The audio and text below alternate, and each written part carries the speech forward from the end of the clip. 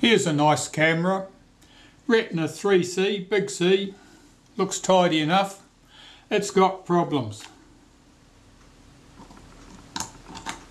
We remove the lens so you can see I've got the shutter set on B.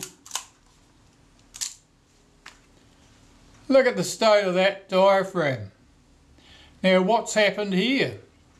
Well in this case the owner was using some solvent, probably naphtha, on a cotton bud and he was cleaning the diaphragm blades in order to remove some traces of oil. And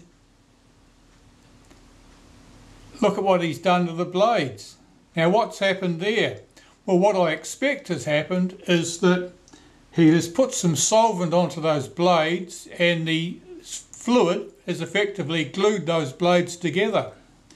Then he has very likely moved the aperture setting lever at the bottom of the shutter in order to open and close those blades but they don't want to move because they're stuck by the fluid that you've just has just been put on them. So what happens? Well you can force them in one direction but when you go to put them back the other way the blades just pop out of place. This type of shutter is particularly vulnerable to that sort of thing because the diaphragm blades, unlike those on earlier Compur shutters that had a rivet forming a pivot at each end of the blade, on this style of shutter the two pivots are very close together at one end of the blade. So the blade is not is being pushed and pulled from one end and the flat broad surface of the blade is able to stick to its neighbours and doesn't want to move and then all things go bad. So I'm going to pull this shutter apart, service the shutter, put the, app, the diaphragm back together where it was and hopefully I will demonstrate to you exactly how this fault can be caused simply by putting some, well in this case solvent on those blades and then moving the lever. Um, it's very easily done and as you can see it's a bit of a disaster. Very likely there was not much wrong at all with that diaphragm prior to the person fixing it. But there we go. More later. Looking in from the back here I can see that there is um, speckles over the inside surface of that rear lens group. And if I can get it loose, we'll have a quick look.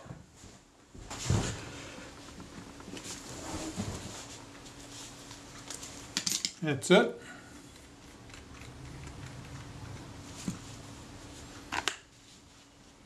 I'll see if I can hold that to the light so you can see those those marks. I'll zoom you in.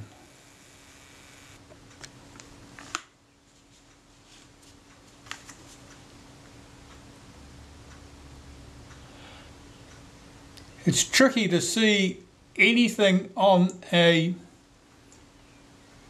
concave surface like that but I tell you now that there's looks like tiny splashes on that lens and doubtless that's from the solvent that had been applied.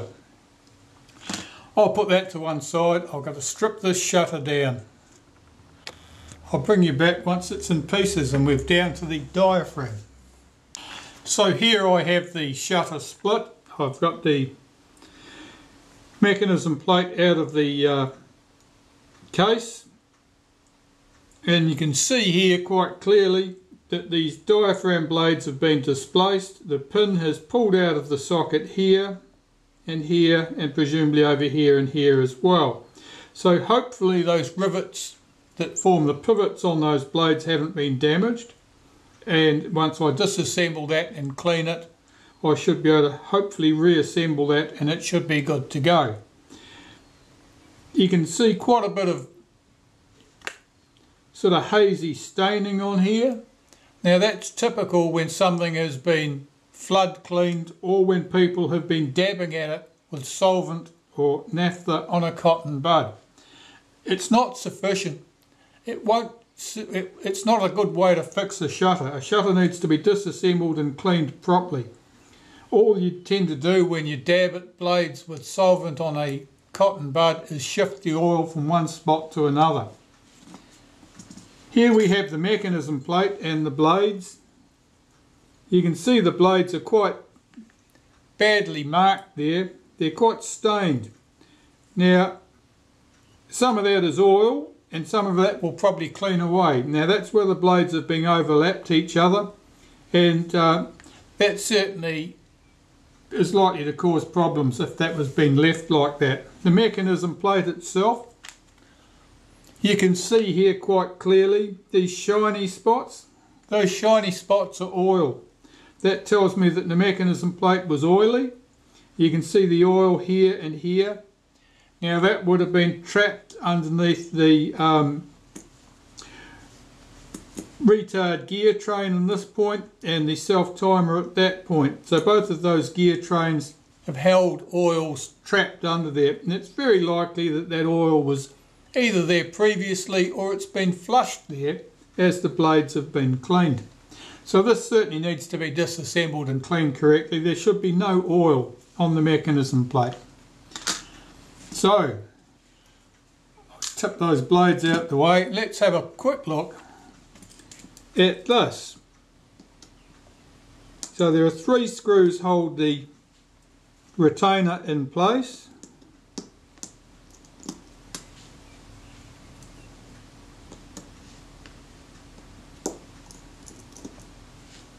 The screws are not loose, that's good. Let's tip out this diaphragm I'll have a quick look at these blades to see what sort of a state they're in. To make sure they have both of their pivots and that they're not too distorted. There's a little bit of distortion on these blades. Uh, I can see it here. There's like a, it's pulled down at this point on the rivet. Um, the retainer plate here is, is quite clean. It certainly needs to be cleaned better than that. You can see that, uh, that hazy finish to it. That's a deposit. That's what's been left over after solvents have been applied. The case likewise needs to be cleaned. Um, that'll have similar stuff on it. And here you can see this is our moving section. This is the uh, piece that as it's turned backwards and forwards swings the blades inwards and outwards. And you can see there's quite a bit of uh, dirt and so forth on that surface. That should all be clean as well. So these components just need to be cleaned correctly and then hopefully reassembled. And I'm hopeful that um, that's all that'll be required. You can see here by the state of this cotton bud there's quite a bit of dirt and oil coming off these diaphragm blades.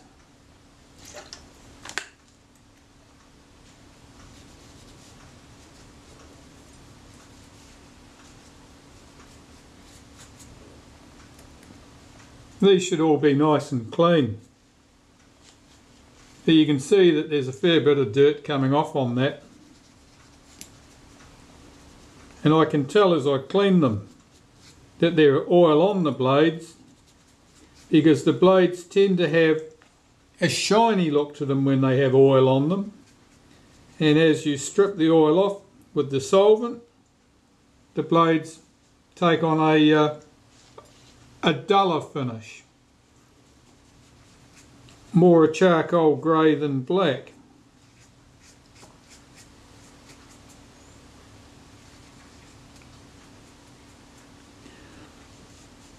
the amount of oil that's on these blades, I would not have expected there to be a problem with them in the camera.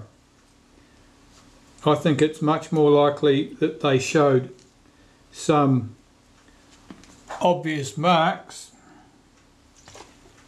and that the owner decided it would be a good idea to remove those marks but I don't think that the oil that was on the blades would have been sufficient to cause a problem.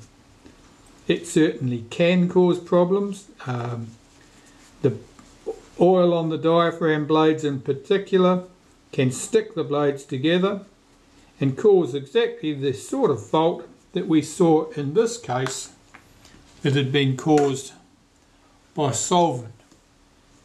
I'll bring my jig over and reassemble this diaphragm. Alright, well we'll start by putting the uh, plate on there, the retainer plate. And I'll start placing the blades.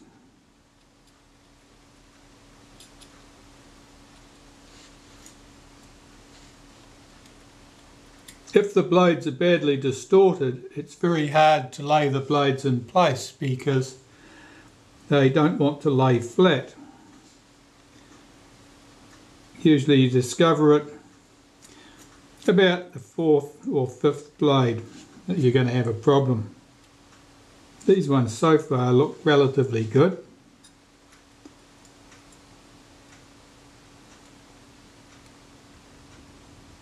So I have to pull back the earlier blades that I'd put on there.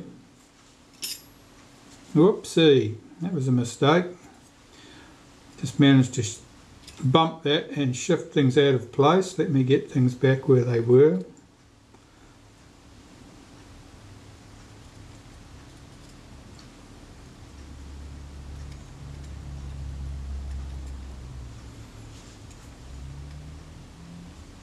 Get the fifth blade in position. Lift the first two blades back over the top so that everything's lying correctly in place. Now I've got to fit the other plate in place. Since I'm doing this back to front I've got to uh, make sure I get this correctly positioned. That's it.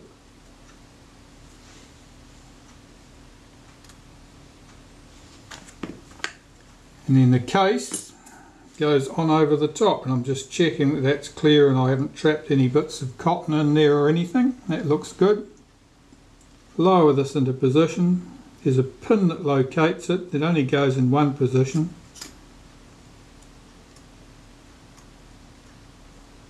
Why can't I find it?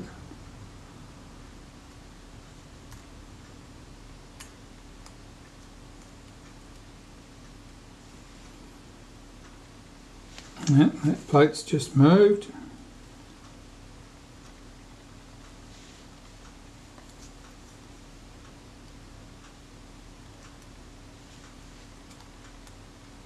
That's better.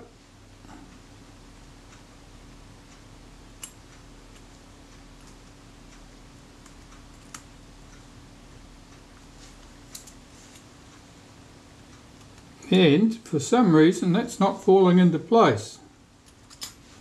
Let me check what's going on here.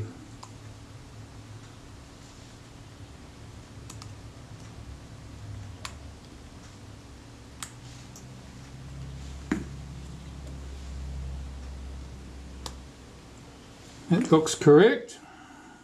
Try again. This time. So I'm going to flip that upside down fit my three screws that hold the retainer plate in place and I'll just get that done up very lightly at first. If one of the blades is displaced, if I'd managed to knock one out of position while I was putting the plate down, I don't want to do the screws up tight and potentially damage a blade by doing so. So I'm being careful not to do the screws up tight just running them home. Once they're in position I can check the check the look of the diaphragm first and I can see immediately that the five pivot pins are correctly located in the plate on this side and if I move this ring we can see that the diaphragm blades all swing in smoothly incorrectly. So now I can go back and tighten those three screws up.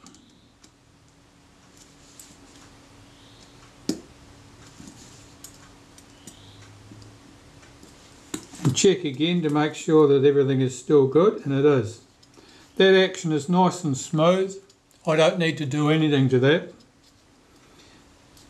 Occasionally, particularly if the blades are distorted, you'll find that you have a, a degree of friction in this action and it'll be because the blades are distorted and they don't want to slide over each other as easily as they might. Um, in that case, a little puff of graphite powder and work it backwards and forwards repeatedly and then very carefully blowing out all the loose graphite powder often will make a uh, quite a stiff diaphragm work very smoothly indeed. But I have to stress that is only for a freshly cleaned and assembled diaphragm. If you there's any traces of oil on there because you didn't disassemble the diaphragm and clean it, then graphite would certainly not be the thing to do. All you'll end up with is a bigger, stickier mess. So there we go, that part's gone smoothly and um, since that was our major fault, the rest of the shutter should go very smoothly indeed, I would hope. So now I've got to look at this um, mechanism plate and I'm not expecting any surprises with this. It's a little bit oily, about not at all uncommon. A lot of them that I see would be worse than this. But it certainly needs to be cleaned. All traces of oil removed.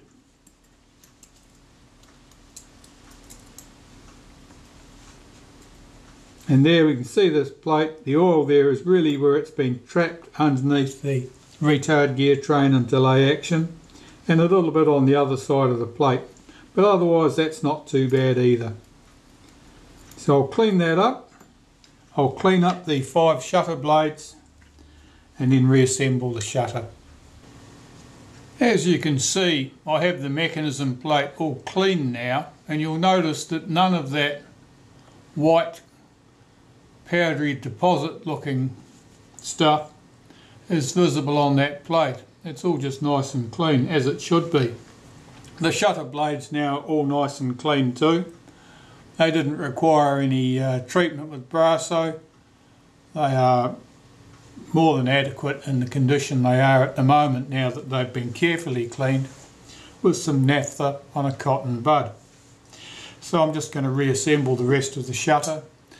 Um, no reason to expect anything exciting in that process so I will probably bring you back when the shutter is complete and then I hope to bring in another shutter and show you how to bugger up the aperture in the way I believe this one had been done.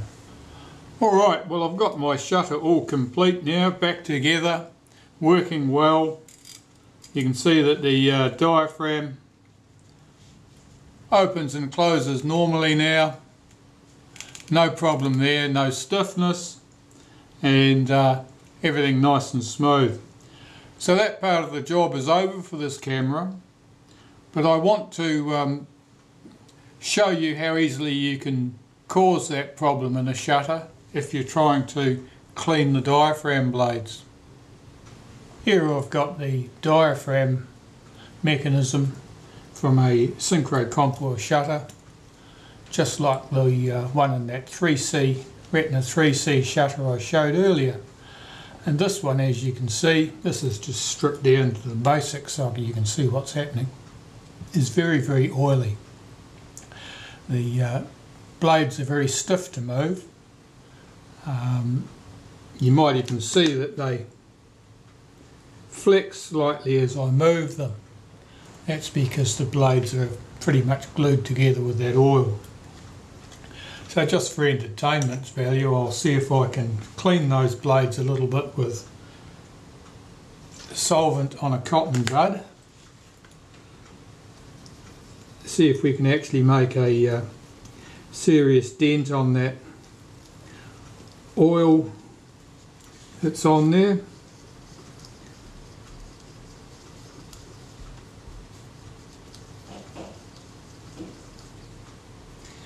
Lots of oil coming off there.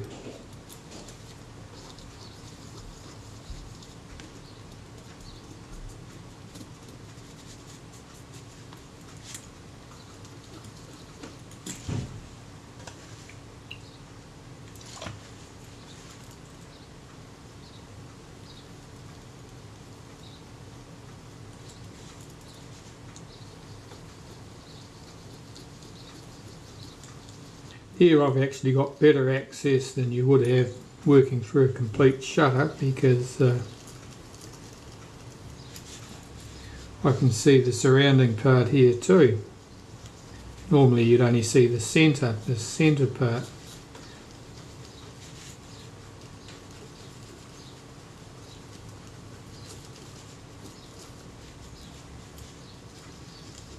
So I've spent about five minutes so far.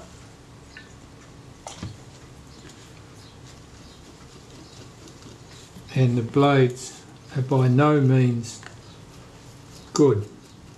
They're still very, very oily.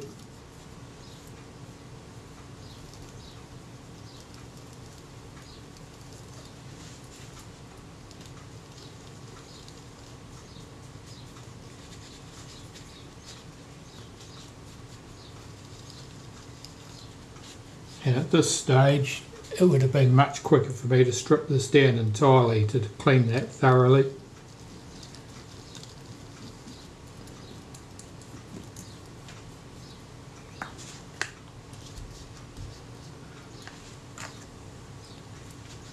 So I'll carry on and see if I can get these blades clean of oil using this method, which I don't recommend, and um, report back.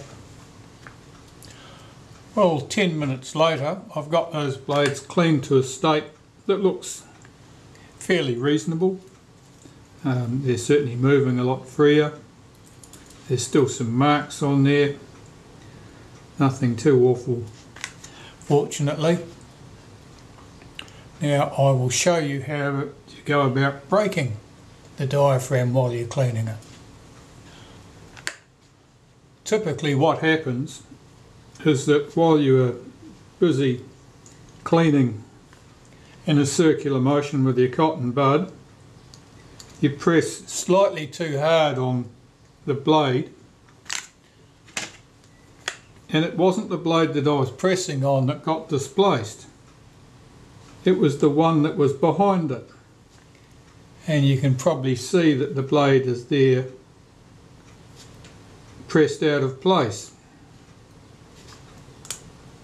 now that one just dropped back into place ah but the blade next to it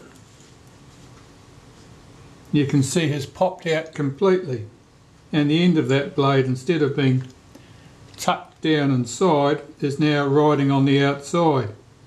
If at this stage I move this lever further across things will start to get really um, messed up. If you were at this stage with that loose blade you could recover from that if you saw it if you failed to force anything, you can very probably get in with the tip of a toothpick and tuck that blade back down. There it's tucked back in. That diaphragm's good again. But all you needed to do to create the problem, and this typically happens at about this point, is press on one of the blades and it'll just pop one of them out of place.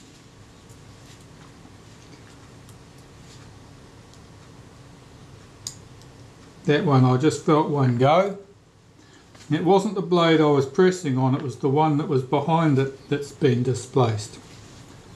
And again, if you look in there, you can see this blade is bowed up and this blade is completely out of position.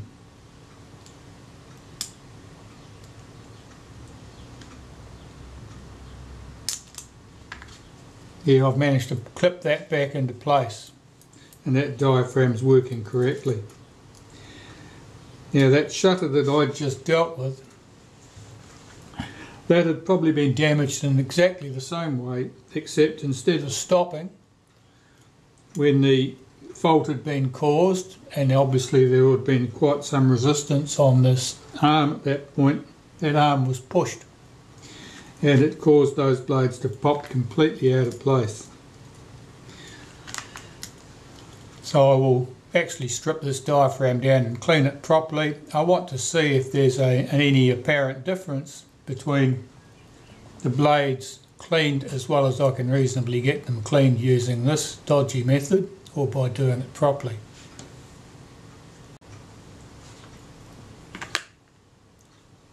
I'm cleaning these blades. After I've removed them, you can probably see the oil staining at this end of the blade. Well, of course, that was underneath the plate and we couldn't see that to clean it. And similarly on the other side. Likewise, these two plates, the moving plate and the retainer plate, were both quite marked and uh, retaining a haze of oil on the inside as well. So they certainly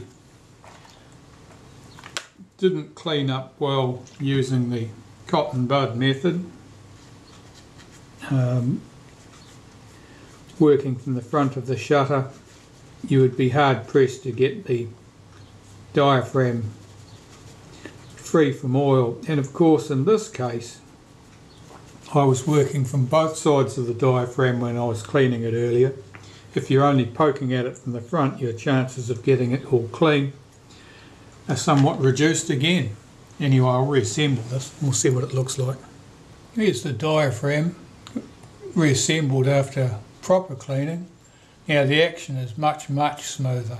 Um, that's not going to show up on camera, but I can tell you that that moves very freely indeed compared with how it was moving earlier.